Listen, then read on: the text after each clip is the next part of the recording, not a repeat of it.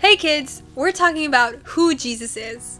Did you know that Jesus is God's son? Did you know that Jesus is God and God is Jesus? It's true. And we're learning that the only way to have a relationship with God is through having a friendship with Jesus. Because Jesus is the only way to have a relationship with God. That's because Jesus died on the cross to forgive us of our sins.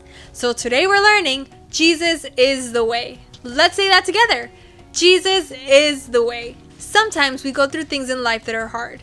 Like we have a friend who doesn't want to be friends anymore. Or we lose someone we love. Maybe we get really sick. In those moments, we can feel all alone. But when we trust that Jesus is with us, He is the way and He will help us. There's a true story in the Bible about how Jesus told his closest friends, his disciples, about how he is the only way to have a right relationship with God. We can read this story in John 14, verses 6 through 14. That's in the New Testament of the Bible, the time when Jesus was alive. Jesus told him, I am the way, the truth, and the life. No one can come to the Father except through me. If you had really known me, you would know who my Father is. From now on, you do know him and have seen him. Jesus was telling his disciples that because they had seen Jesus in person, they had seen God, because Jesus is God and God is Jesus. He told them that no one can have a good relationship except through him. That's because Jesus died on the cross to forgive us of our sins. Let's keep reading. Philip said, Lord, show us the Father and we will be satisfied. Philip is asking Jesus to show them God, but we know that Jesus is who? Jesus is God. Jesus replied, have I been with you all this time, Philip, and yet you still don't know who I am? Anyone who has seen me has seen the Father. So why are you asking me to show him to you? Don't you believe that I am in the Father and the Father is in me? The words I speak are not my own, but my Father who lives in me and does his work through me. Just believe that I am in the Father or the Father is in me, or at least believe because of the work you have seen me do. Jesus told Philip that he has seen God because he has seen him we can trust that Jesus is who he says he is.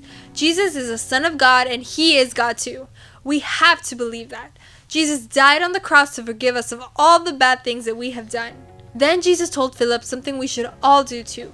You can ask for anything in my name, and I will do it, so that the Son can bring glory to the Father. Yes, ask me for anything in my name, and I will do it. He told Philip that he can ask for anything. How do we talk to God and ask Him for things? We pray.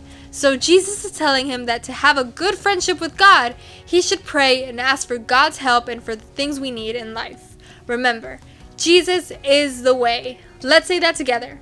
Jesus is the way. Jesus loves us so much that he was willing to die on the cross to forgive us of all the bad things we do. And God loves us so much that he was willing to let his son, Jesus, die for us we know that the only way we can have a good friendship with God is by knowing Jesus and trusting Him. We can know Jesus by asking Him to be the leader of our lives. And when we do that, He changes us. Then we can talk to Him all the time and ask Him for help when we need it. We can be more and more like Jesus. We can show His love to everyone. We can be kind. We can help others. Jesus does that for us, and we can do that for others. Remember, Jesus is the way. Let's say that together. Jesus is the way. And maybe you want to make God the leader of your life. You can do that right now with me as we pray. Put your hands together, bow your heads, and pray with me. Jesus, thank you for saving me. I need your help and want you to show me the way. Be my leader and teach me to be more and more like you every day. In Jesus' name, amen. If you made the decision to make Jesus the leader of your life, tell the leader and remember, Jesus is the way. Let's practice this month's memory verse together. Don't copy the behavior and customs of this world, but let God transform you into a new person by changing the way you think. Then you will learn to know God's will for you, which is good and pleasing and perfect. Romans 12, 2. Let's say it again. Don't copy the behavior and customs of this world, but let God transform you into a new person by changing the way you think. Then you will learn to know God's will for you, which is good and pleasing and perfect. Romans 12 2.